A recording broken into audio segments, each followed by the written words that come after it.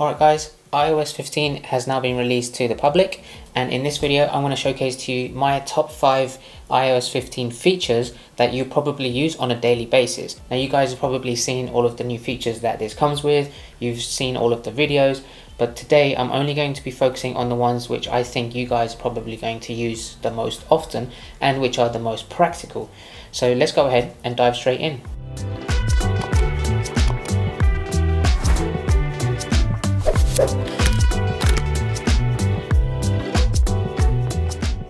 Okay, so you can see here on the Apple website, plenty of new things that have been released. You know, there's a bunch of things that have been improved with FaceTime. You can do SharePlay, you can share your screen whilst you're having FaceTime video calls.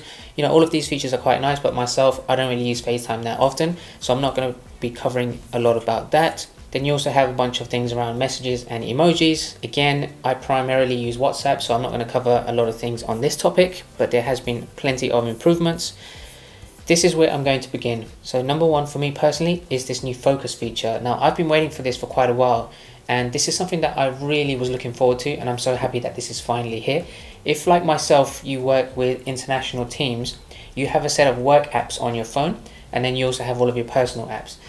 I work with teams internationally that once I log off from work at 5 p.m. in the evening, they continue to work abroad for another seven hours of my day. So they keep sending me messages and emails, you know, up until very late at night, my time. So I keep getting those notifications, and it's so much of a hassle to keep continuing to turn off like Outlook, Microsoft Teams, Slack, those kind of apps related to work every single day.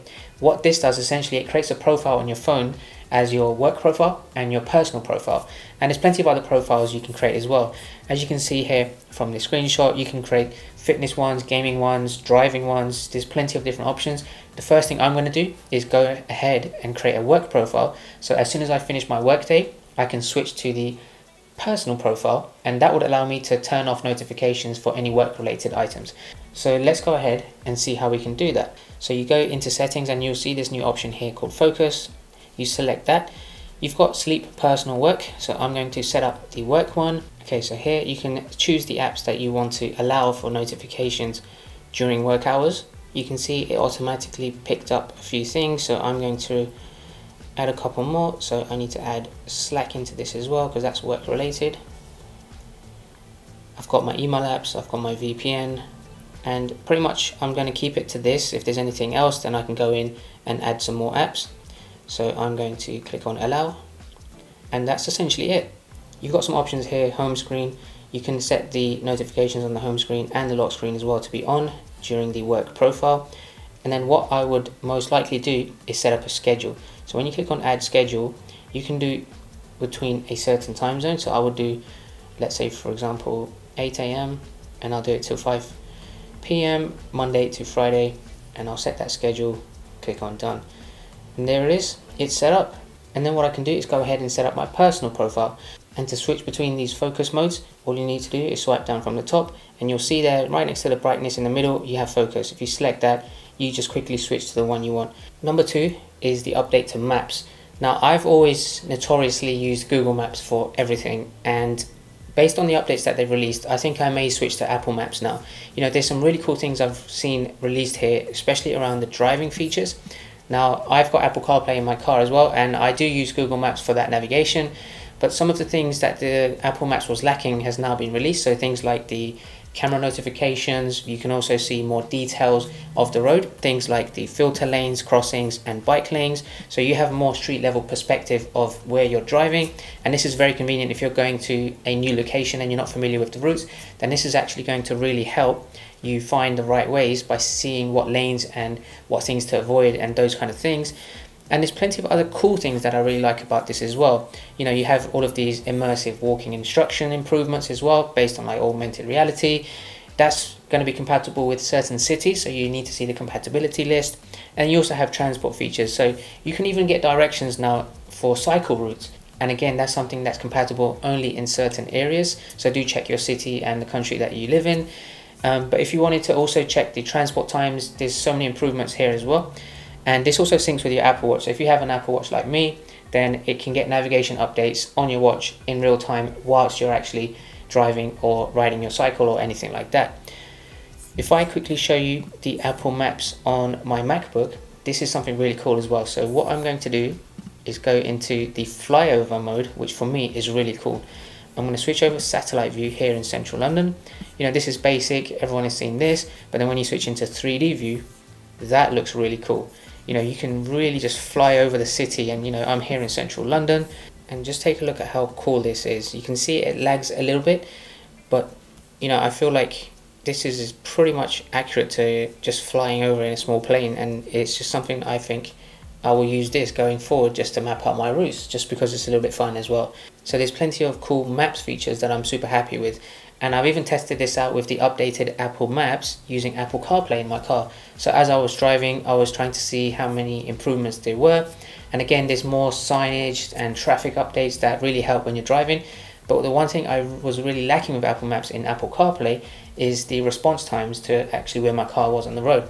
There was probably a two or three second delay, and in terms of that, I used to sometimes miss my turnings because it was off sync with the app on the navigation compared to where I was on the road. And as I was driving today, I tested it out and it was more closely synced. So I feel like it was kind of like real time and much more improved than last time. So I'm going to continue trying Apple CarPlay, Apple Maps for my driving navigations. And number three is the weather app on your iPhone.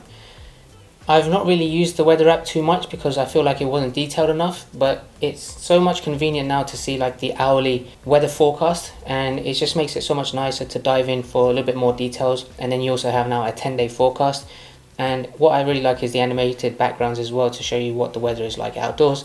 So as you can see, it's pretty cold, it's rainy, it's a miserable day today.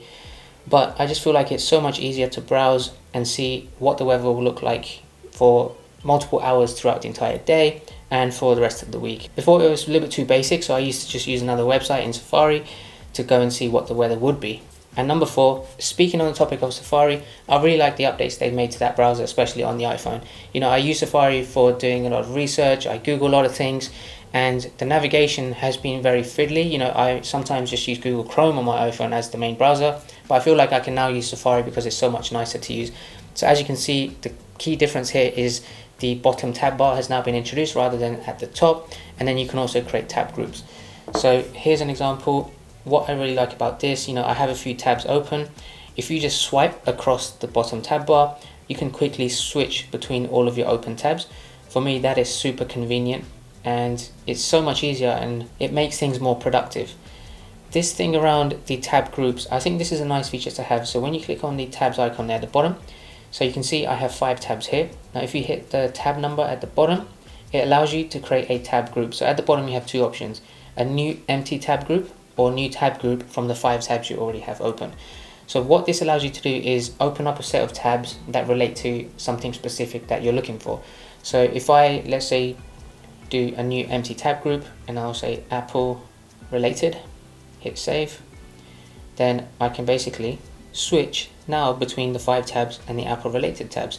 And if I wanted to move any of these open tabs to the new Apple group tab that I've created, all I need to do is just hold down one of them, click on move to tab group, and then select Apple tabs. So I'm going to move two tabs I have related to Apple and then just move that. So now I have three tabs here and then I can go there, click on Apple related and you know, this is something convenient if you do a lot of research for, let's say, your work, then you can have work related tabs, then you can have your personal related tabs. It's another extension, I guess, to the focus profiles. So I think this is very nice to have and it's just very convenient, especially if you use Safari quite a lot.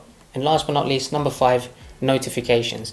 Now, we all know Apple notifications are very clunky, they're not the greatest. I've been super impressed with the Android notifications, and ever since I switched to Apple, I've always been disappointed with the way the notifications are.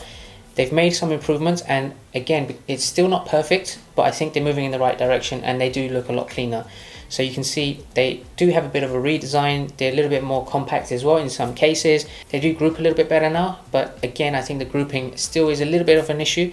But I just feel like the notifications is something that's been neglected by Apple for so long that this is something they you know should have focused on for a while. And I feel like although they're quite not there, they're on the right track. So for me, I'm personally happy that I can get more meaningful notifications on my lock screen and on my notification center. So that's it guys, those are my top 5 practical apps that you would probably use most often with the new iOS 15 update. Of course there's a whole bunch of new things as well which are really nice, which I didn't mention in this video. Live text for example, I've tried this out with my camera and it does a very good job picking up the text that you can just copy and paste and put it into notes or messages or anything like that. Spotlight improvements, photos improvements, there's plenty of things and you know, one thing I do also want to mention is this new privacy update, which probably a lot of people don't talk about.